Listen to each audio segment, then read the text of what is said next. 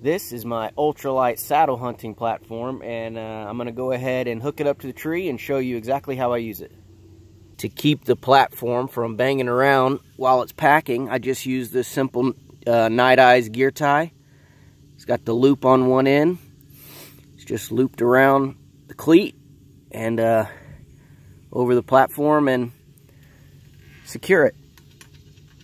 I don't have it real tight right now, but I mean, doesn't move.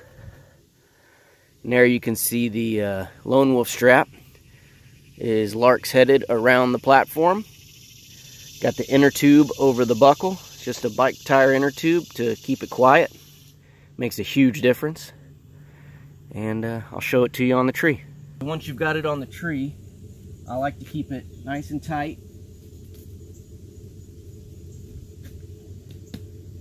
And your your line, your strap should be just about equal or even a little below the pivot point on your platform. And you just want to keep that tight and just give it a little slack until you can cam it. And you can always tighten it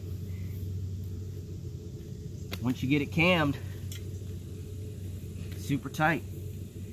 And if it's not perfect, you just raise it, tighten it just a little bit.